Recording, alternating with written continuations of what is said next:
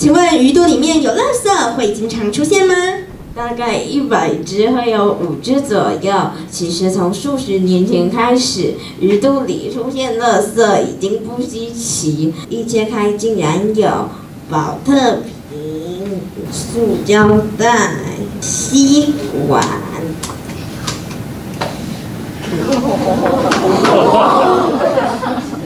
还有瓶盖。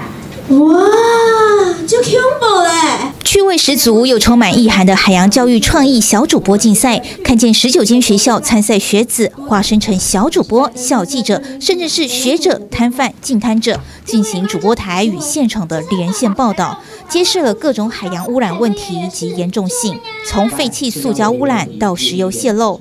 从噪音污染到净滩的自我醒思，每一份报道都充满了学生们的心血和智慧。希望透过这样子的活动，让孩子在准备的过程中，可以去关注海洋污染相关的议题，那并且提出他们的见解，成功提升学生对海洋环境保护的认识。国小组优胜是来自和平国小的和平梦想队，以废弃塑胶污染作为报道主题，亲师生三方通力合作。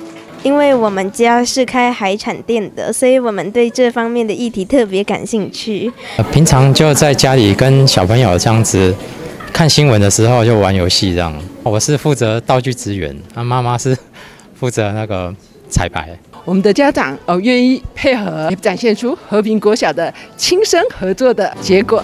另一组特优的获奖者，百福国中海波浪，从基隆丑境公园布袋莲与垃圾污染作为开端，延伸至全世界的海洋污染垃圾状况。